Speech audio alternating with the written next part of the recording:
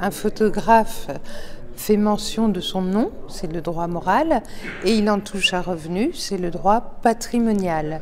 La presse, les éditeurs euh, assurent son revenu.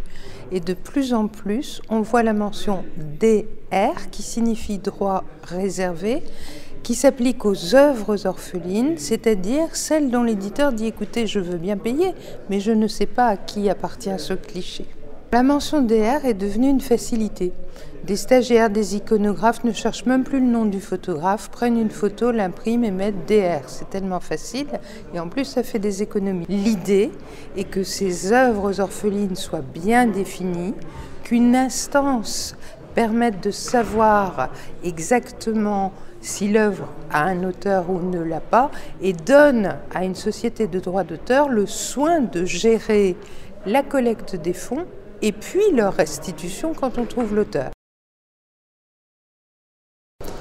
Nous avons adopté cette euh, proposition de loi à l'unanimité après avoir euh, euh, quelque peu modifié la proposition qui nous était faite parce que nous considérons que seule la navette parlementaire, seule la décision d'une directive européenne qui est annoncée pour fin novembre permettront euh, d'aller plus loin.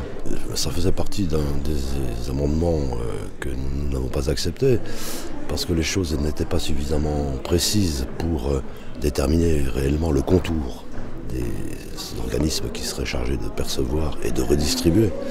Et donc nous n'avons pas souhaité aller plus loin aujourd'hui, non pas parce que nous considérions que c'était une mauvaise idée, mais parce qu'elle était suffisamment imprécise et difficile à mieux définir. C'est la raison pour laquelle nous ne l'avons pas retenue il y a un faisceau convergent euh, favorable. Le ministre s'est dit euh, résolu, même enthousiaste et pressé. L'Europe est en train de s'occuper du sujet, toute la profession s'est mobilisée, dont les plus grands noms de la photographie.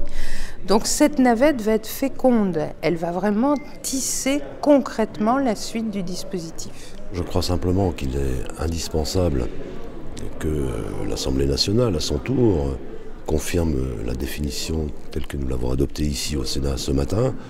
Et puis ils auront sans doute des propositions intéressantes à faire euh, sur euh, la perception des droits, sur la répartition des droits. Euh, c'est sans doute là-dessus qu'il faut continuer à travailler. Moi, j'ai évoqué l'urgence, c'est créer une plateforme où toutes les œuvres seront visibles afin que les photographes éventuellement spoliés puissent reconnaître les leurs. Des internautes se sont émus d'être entravés dans leur possibilité d'utiliser des œuvres qu'ils ont créées et elles seraient orphelines puisqu'ils en feraient cadeau. Et on leur dit non, non, il suffit de mettre votre nom et de mentionner à l'éventuelle société des droits d'auteur que vous, vous êtes des bénévoles, vous voulez en faire un cadeau réel et il n'y a plus aucun problème. Et je les comprends, le bien commun, la coopération, la production-création bénévole, ça fait sens dans notre société. Il ne faut pas les entraver. Ce que nous voulons tuer, c'est la spoliation.